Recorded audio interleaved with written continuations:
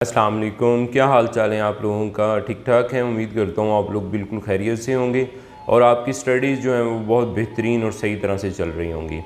आज मैं बात करने लगा हूँ कि हम कैसे वीयू के अंदर स्टडी कर सकते हैं। ये मैं बहुत दफ़ा कह चुका हूँ, लेकिन एक छोटी सी वीडियो बनाते हैं, जिसमें मैं आपको बताता हूँ कि हम वीयू के अंदर स्टडी कैसे करेंगे।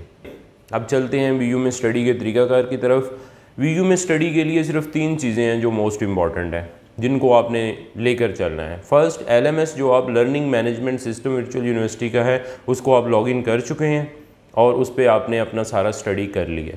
जो वीयू ने एलएमएस आपको प्रोवाइड किया है, वो वीयू ने एक क्लासरूम बनाया है, जिसके अंदर जाकर आप सारी चीज़ें स्टडी करते हैं।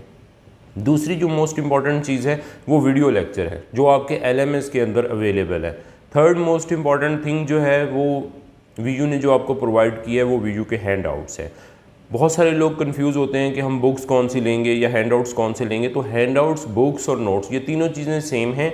आप हैंडआउट्स के नाम से वीडियो में बुक्स को जाना जाता है, आप उसको डाउनलोड करें और उसको स्टडी करें।